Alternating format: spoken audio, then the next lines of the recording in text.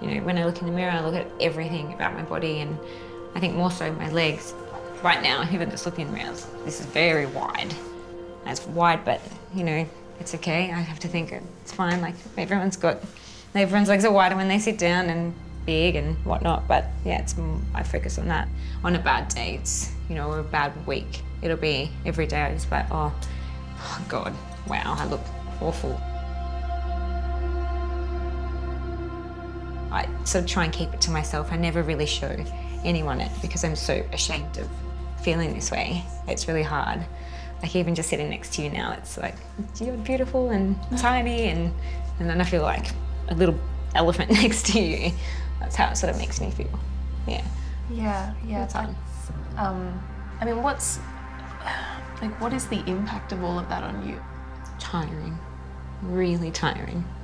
Um, I sort of wish that I didn't have it so I could just live a normal life with friends and just enjoy life itself. Sorry.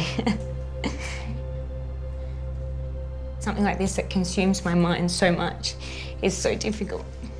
It's just constantly there. Like, honestly, I just hate what I see. Like, I just can't stand it.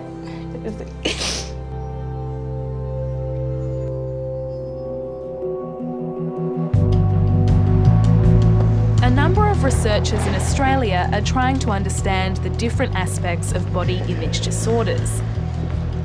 Professor Susan Rossell and her team at Swinburne University are investigating something called body dysmorphic disorder, where you obsess over a physical flaw that other people can't see.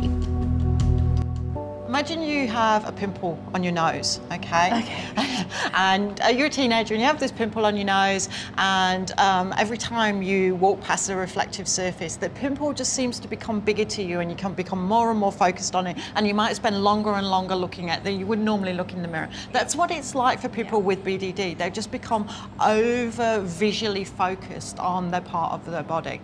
So what we've been using to, um, to study this scientifically is a technology referred to as eye tracking technology. And it's basically a camera that just monitors what your eyes are doing.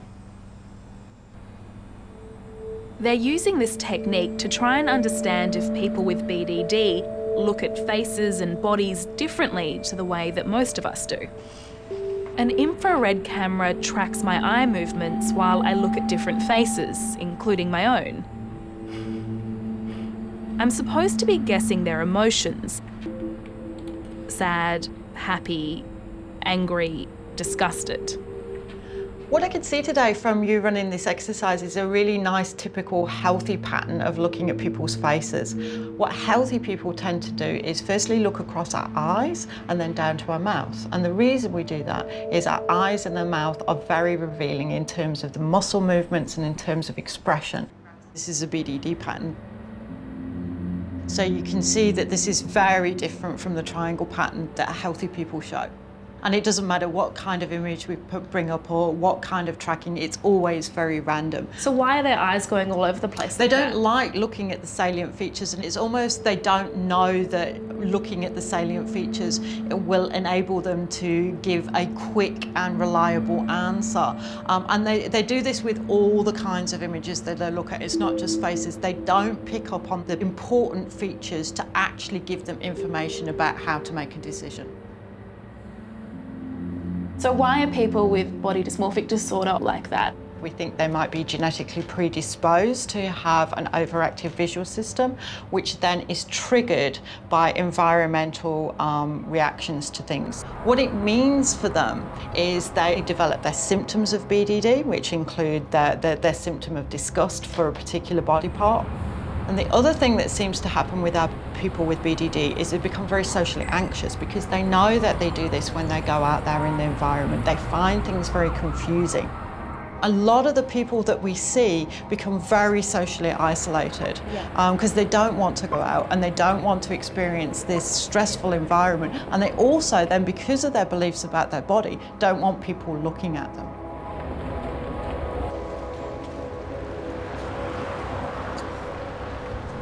Daniela has never been formally diagnosed with body dysmorphic disorder.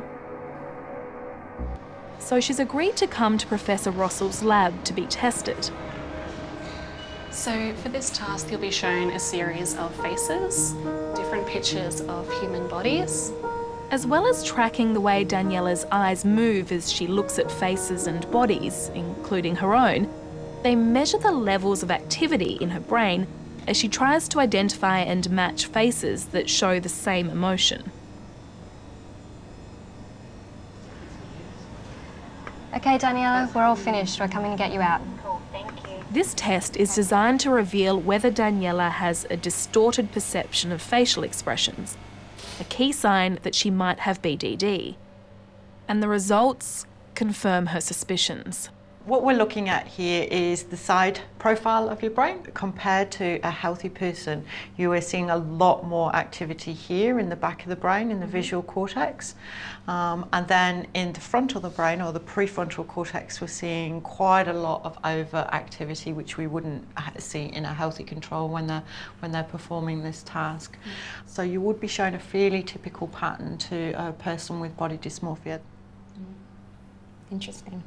What's it like for you to see these patterns show up? Um, it, yeah, interesting. Honestly, felt like maybe like I don't have it. I don't like I don't have BDD. I don't have this. I'm you know I'm a normal person. I see things normally in the mirror. I mean, everyone must you know have a fixation on something. I'm I can't be that not normal. But uh, seeing this, it's, really, it's a bit hard for me to process. But I guess you know we'll get somewhere from this. So yeah, it's validating it's, your ex experience, yeah. isn't it? Like others with BDD, Daniela's brain goes into overdrive when she tries to read facial expressions, something that most of us can do easily. And her eye tracking results are the final confirmation. She looks at faces and bodies with a classic BDD pattern. I feel like having these results now is almost uh, reconfirming the fact that I don't exactly see what other people see. I guess the good news is that these guys are developing some therapies that can help with stuff like this. Yeah, that's really exciting. Like everyone can get some help and hopefully if this therapy works then we can all work together and you know, living a happier life. It's pretty emotional.